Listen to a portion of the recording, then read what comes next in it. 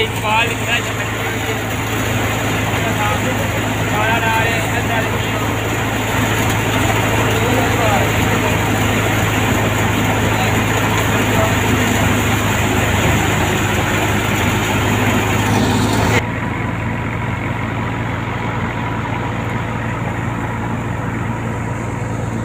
السلام علیکم دوستو جناب میں اظہر خان بلوچ ਤੇ ਅੱਜ ਅਸੀਂ ਜਨਾਬ ਆਪਣੀ ਕਣਕ ਕੱਢ ਰਹੇ ਹਾਂ। ਤੇ ਇਹ ਮੇਰੇ ਕਜ਼ਨ ਦੀ ਕਣਕ ਹੈ ਇਕਬਾਲ ਖਾਨ ਦੀ ਤੇ ਅੱਜ ਉਹ ਵੰਗਾਰ ਉਸ ਪਾਈ ਸਾਨੂੰ। ਤੇ ਇਹ ਬਾਈ ਜੀ ਵੰਗਾਰਾ ਪਹਿਲੇ ਤੁਸੀਂ ਸੁਣਦੇ ਆਵੇ ਕਿ ਅੱਜ ਤੋਂ ਕਈ ਅਰਸਾ ਪਹਿਲੇ ਵੰਗਾਰਾ ਹੁੰਦੀਆਂ ਹਨ। ਤੇ ਸਾਰੇ ਬਿਰਾਦਰੀ ਵਾਲੇ ਇਕੱਠੇ ਹੋ ਕੇ ਇੱਕ ਭਾਈ ਦੀ ਵੰਗਾਰ ਦਿੰਦੇ ਹਨ।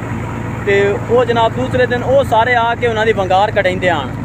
ਤੇ ਉਹਦੇ ਤੇ ਜਨਾਬ ਬਰਿਆਨੀਆਂ ਤੇ ਜ਼ਰਦਾ ਪੁਲਾ ਤੇ ਮਿੱਠੇ ਬੜਾ ਕੁਝ ਬਣਦਾ।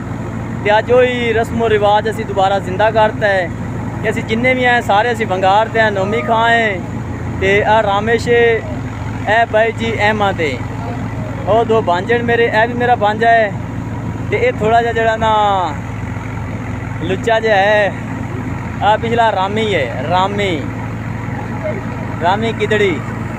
ਤੇ ਇਹ ਜਨਾਬ ਤੁਹਾਨੂੰ ਵੀ ਕਹਿੰਦੇ ਅਸੀਂ ਕਿ ਕਿਸ ਤਰ੍ਹਾਂ ਬਾਈ ਜੀ ਸਾਰਾ ਕੁਝ ਹੋ ਰਿਹਾ, ਪਹਿਲੇ ਮੈਂ ਗਾਲਾ ਲਾ ਰਿਹਾ ਸੀ, ਹੁਣ ਮੈਂ ਰੈਸਟ ਤੇ ਰੈਸਟ ਕਰ ਰਿਹਾ ਹੁਣ ਇਕਬਾਲ ਗਾਲਾ ਲਾ ਰਿਹਾ ਹੈ ਭਾਈ ਕਿਦੀ ਖਰਾਸ਼ਰ ਹੈ ਗੰਜਾ ਹੈ ਤੇ ਇਹ ਬਾਈ ਜੀ ਦਾਣੇ ਨਿਕਲ ਨਿਕਲ ਕੇ ਆ ਰਹੇ ਹਨ ਉਹ ਥ੍ਰੈਸ਼ਰ ਚ ਦਾਣੇ ਨਿਕਲ ਰਹੇ ਹਨ